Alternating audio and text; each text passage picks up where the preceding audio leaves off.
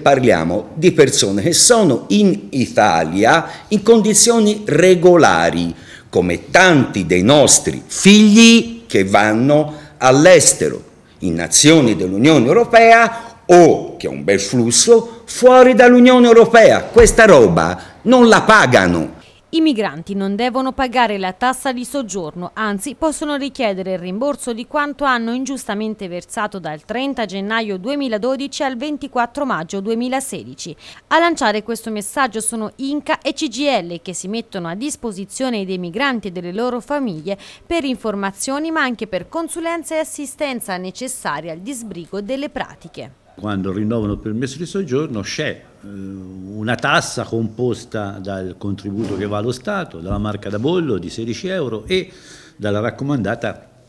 abbastanza costosa che prende le poste italiane, quindi complessivamente ci vuole intorno a 80 euro. Quindi ehm, l'Inca, la CGL si è rivolta alla Corte di Giustizia Europea e la Corte ha detto è legittimo che uno Stato introduca degli, de, dei costi, però li deve rapportare alle esigenze e soprattutto li deve portare al reddito delle persone. Noi dopo la sentenza della Corte eh, di Giustizia Europea abbiamo iniziato a fare le richieste di rimborso, che sono state tante, il messaggio a coloro che non l'hanno fatto possono rivolgersi agli uffici dell'Inca, della CGL per fare questo tipo di domanda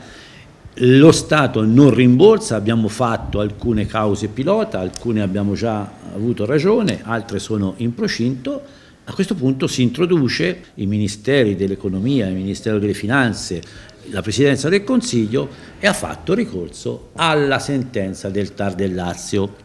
e quindi sostanzialmente blocca tutto. La sentenza del TAR del Lazio cosa ha stabilito? La sentenza del TAR del Lazio ha stabilito che questa tassa è illegittima e quindi lo Stato deve di nuovo intervenire, giustificare e soprattutto modulare in base al reddito posseduto dal cittadino che chiede il permesso.